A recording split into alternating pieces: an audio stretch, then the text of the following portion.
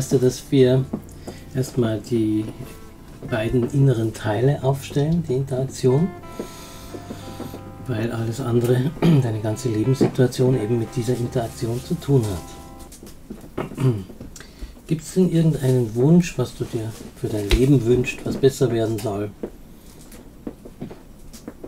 Die Kommunikation. Okay, was ist mit der Kommunikation? Ja, ich verbiete mir manchmal zu sprechen, weil ich so den Eindruck habe, ähm, ich rede zu viel. Mhm. Du verbietest dir zu sprechen. Das ist schon ein sehr gutes Beispiel, ne? weil wir ja wissen, das innere Eltern-Ich ist das, das es verbietet ne? und das Mhm. innere Kind möchte gern was sagen. Genau. Mhm. Okay. Beziehungsweise ich verbiete es mir nicht, ich mache es einfach. Und Ja. dann kriege ich von außen halt, ähm, ich rede zu viel. Ja, könnte sein, dass da noch etwas anderes mitschwingt, ne? dass ähm, du ein Geheimnis nicht verraten darfst. Aber wir werden sehen, dass du nicht zu viel sagen darfst. Ja. Bei dir? Ja. Wenn die Menschen das tun würden, was ich ihnen sage, dann wäre es viel leichter. Aber das tun sie nicht. Das nicht. Dies, dieser Teil nicht. Ja. Das ist, äh, ich bin ähm, besserwisserisch, vollkommen. Ich weiß exakt genau alles. Das ist schon angekommen. Kenne auch Mhm. alles. Und, Wie geht's dir? Ja, so irgendwie bin ich mich ein bisschen eingeengter. Und besser ist es, wenn ich da jetzt in die Richtung schaue.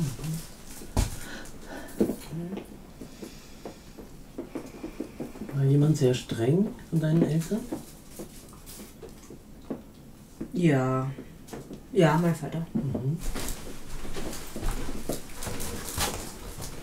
Wobei, Mutter auch. Mutter auch. Mutter auch. Bist du schuld?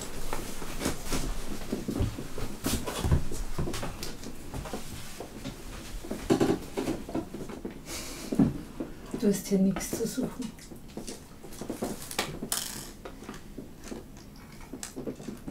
Ist das ein Vorwurf an den Vater? Ich habe eigentlich gedacht, nicht mehr. Du hast eigentlich gedacht nicht mehr. Mhm. Und uneigentlich?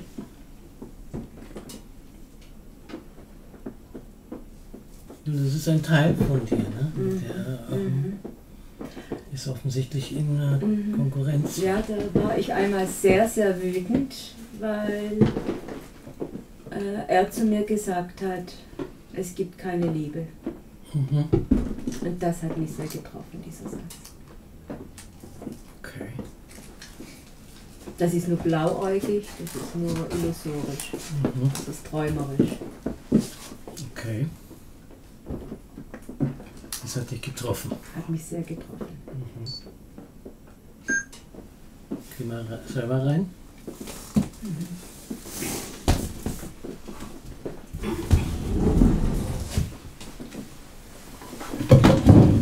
Und so, sag ihr mal, es gibt keine Liebe. Es gibt keine Liebe. Das löst es aus. Macht hier alles dicht. Mhm. Und was spürst du unter dem? Ja?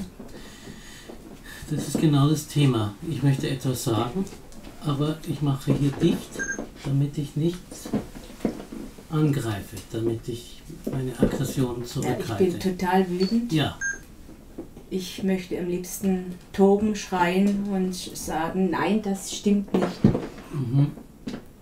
Natürlich gibt Mhm. es die Liebe. Du hast doch keine Ahnung. die Liebe ist wohl eher etwas, was man ins Leben bringt, nicht über das man streiten könnte. Ne? Also, er hat große Macht über dich. Ne? Du gibst ihm die Macht. Und damit macht ihr die Liebe weg. Ihr beweist es. Noch. Zerlegen.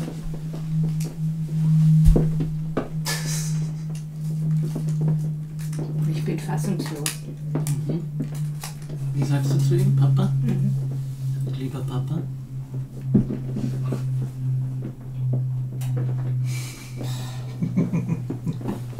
Du kannst auch im Kampf bleiben, ne? Aber der Kampf macht, dass du hier zuspürst, ne? Du willst trotzdem brav sein und diese Aggression nicht ausbringen.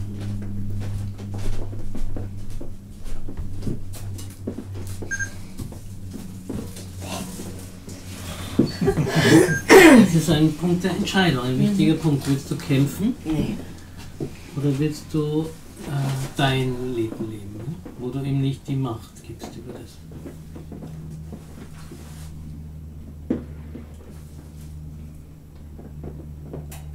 Lieber Papa, Ich habe die Liebe in mir.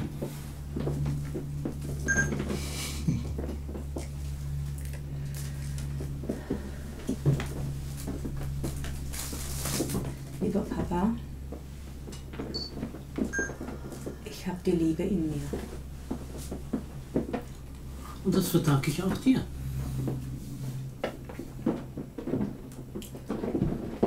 Und das verdanke ich auch dir. Damit ich überhaupt auf der Welt bin und die Chance habe, die Liebe zu spüren. Damit ich überhaupt auf dieser Welt bin und die Chance habe, diese Liebe zu spüren. Verdanke ich dir, auch dir und deiner Liebe. Und das verdanke ich auch dir und deiner Liebe.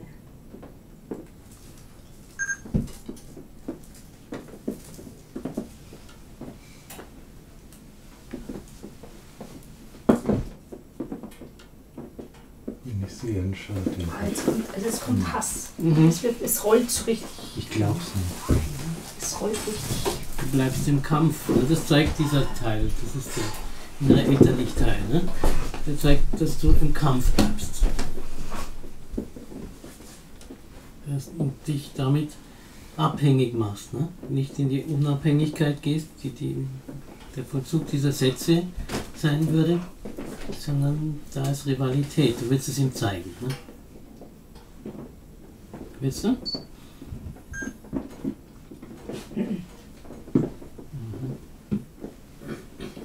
Was willst du denn? Frieden.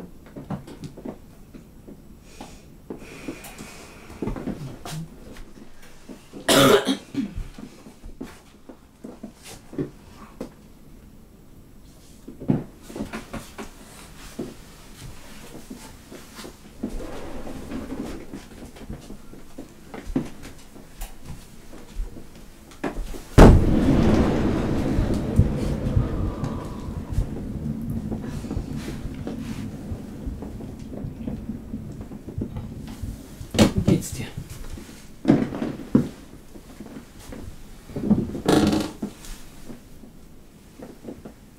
Gut. Ähm, war zu erwarten. Ähm, ich habe Zeit. Hm? Ich habe Zeit. Zeit. Ich habe Zeit. Es erhöht sich jetzt. Ich habe diese innere Zerrissenheit. Das Kleine, das schreit, halt mich, aber das andere ist sehr, also es wird so, äh, die Aggression wird mehr. Siehst du ihn? Sag ihm, alles was in deinem Leben war oder in deiner Familiengeschichte, Alles, was in deinem Leben oder in deiner Familiengeschichte war, geht mich nichts an. geht mich nichts an.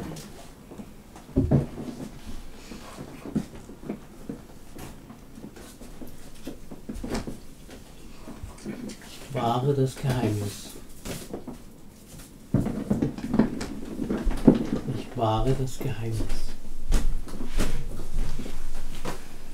Versuch's mal. Ich wahre das Geheimnis. Es ist nicht meine Angelegenheit. Es ist nicht meine Angelegenheit. Das macht mich wütend.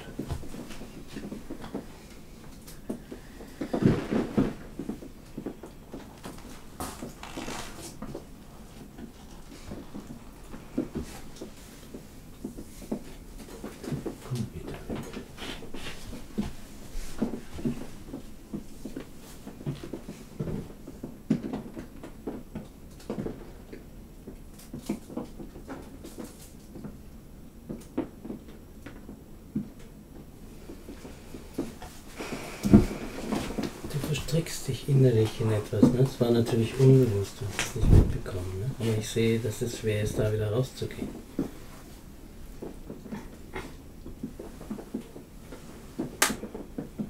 Wie ist es, wenn du auf sie schaust?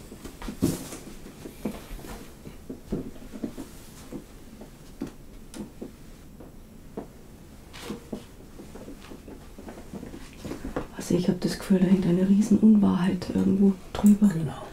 Und es wird Zeit, die, zu dir zu stehen. Ich weiß auch nicht, ja, irgendwie wahrhaft zu dir zu stehen. Ja.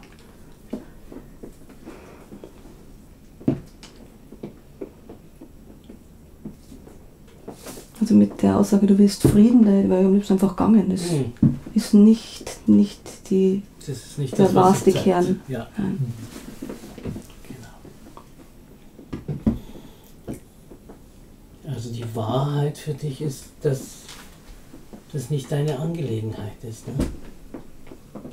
Da gab es Unwahrheit, gibt es ein Geheimnis, aber es ist nicht deine Angelegenheit. Ne? Aber innerlich auf Seelenebene überlegst du, bin ich die äh, Trägerin der Wahrheit? Ne? Halte ich die Fackel hoch und muss ich es aussprechen, muss ich es ergründen und muss ich es aussprechen, um eine Lösung zu bringen? Aber deine Lösung ist, es ist nicht dein Ding. Ne? Hm. Es ist nicht deine Angelegenheit.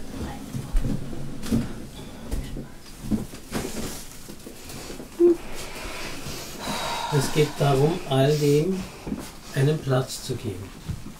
Der Ehrlichkeit und auch der Unehrlichkeit, die irgendeinen Grund hat, in einem Familiensystem da zu sein.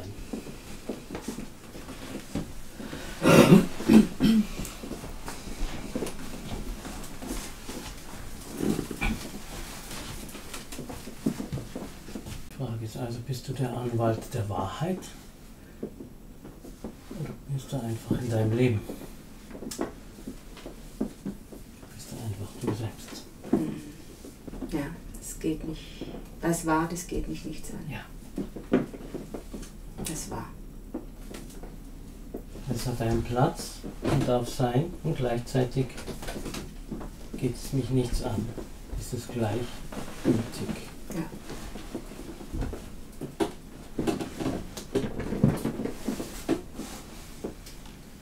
Ja.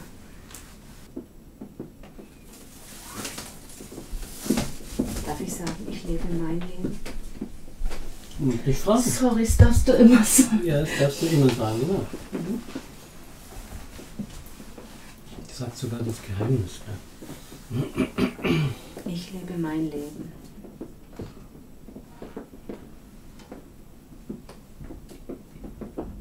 Und was war, das war. Ich glaub's dir noch nicht ganz. Ja, wir werden das sehen, ob du dein Leben lebst in deiner Bewegung.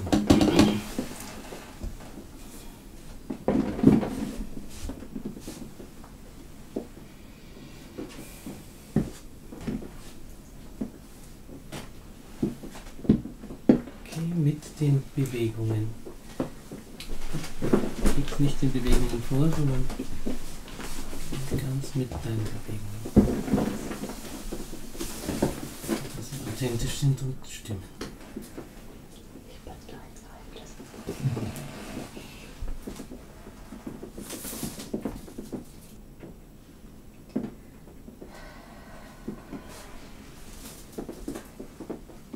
Wie geht's dir da mit den beiden Teilen?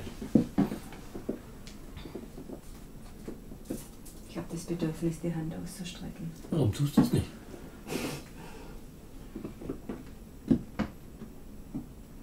Bist du dazu wirklich bereit? Es heißt, in dem Fall für dich Ideale aufzugeben. Mhm. Zugunsten des Fließens, des Annehmens, was ist, Mhm. Das was kommt. Ja. Mhm. Auch kein Anwalt mehr zu sein für irgendwen.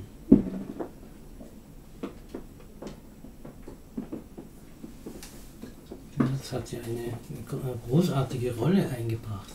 Und die gilt es wieder loszulassen. Zu sagen, ich bin nur ich selbst. Ja. Mhm. Und so ganz genau weiß ich nicht, was richtig und falsch ist. Mhm. Was Wahrheit, und Lüge.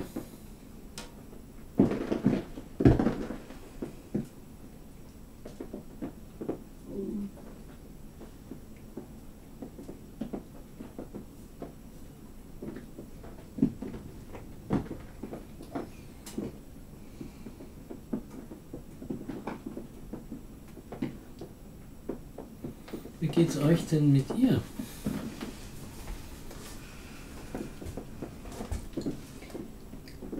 Ich bin vorsichtig und ich bin sehr erschöpft und müde des, ähm, des Widerstands.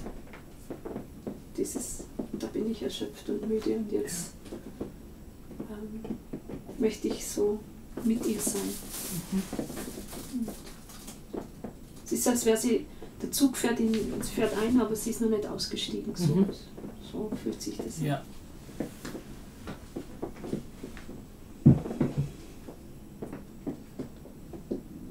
Also ich bin auch auf Aufstand. Mhm. Ziemlich. Weil ich, es fühlt sich nach wie vor nicht wirklich e- ehrlich an. Ich habe eher das Gefühl, es ist ganz viel Angst da.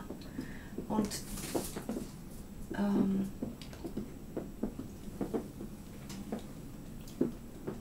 oft ist ja die- diese, dieses Bedürfnis nach Harmonie eher die, der Versuch der Konfrontation Ja. aus dem Weg zu gehen. Mhm.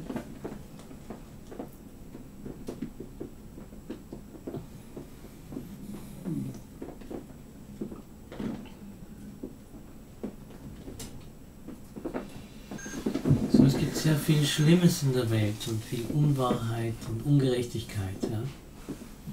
Und die Aufgabe wäre jetzt, damit die beiden näher kommen können und du ihnen näher kommen kannst, ähm, alle Urteile darüber aufzugeben. Alle. Und erst einmal anzunehmen, was ist. Das ist die Welt, in der wir leben, die wir schaffen, erschaffen in jeder Minute. Sie ist ein Spiegel unseres kollektiven Inneren. Ne? Und erst einmal der erste Schritt ist, sie anzunehmen, wie sie ist, ohne Urteil. Als nächstes kommt vielleicht eine Idee, ja? aber zuerst nehme ich sie bedingungslos an.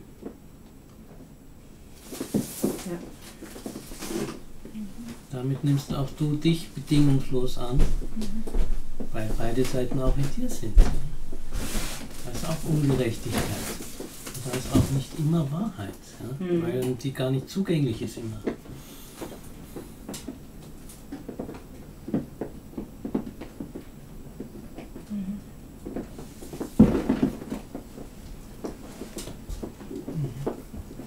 Ein inneres Kind will nur spielen, spielerisch sein. Ne? Mhm. Und, äh, unter all der Last, was ist jetzt gerecht in der Welt und was nicht und was ist wahr und unwahr, kommt es gar nicht dazu. Mhm.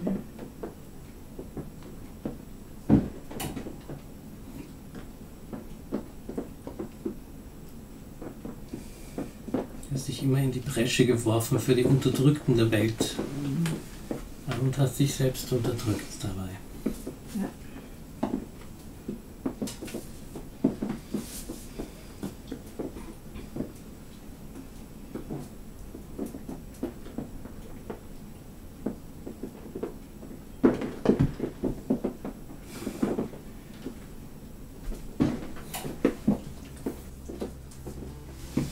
sich innerlich mal fallen, genau, soweit es geht.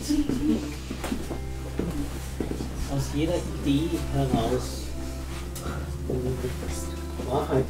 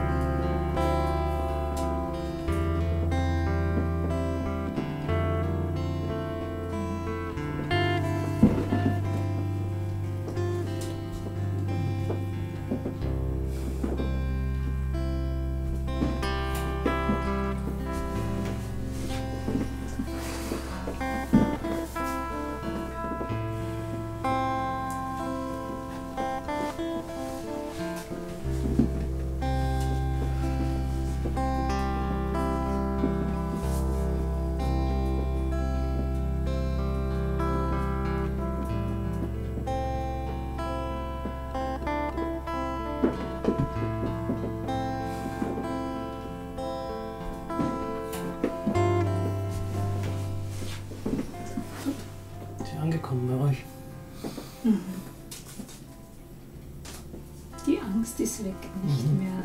nicht anerkannt zu werden, wenn man nicht tut. Ja, genau. Du darfst einfach so sein, wie du bist. Ne? Ja, Du musst so. nicht die Anwältin sein, die die Unterdrückten. Fang bei dir selber an, ne? Ja, unterdrücken. okay, danke euch. Danke, danke.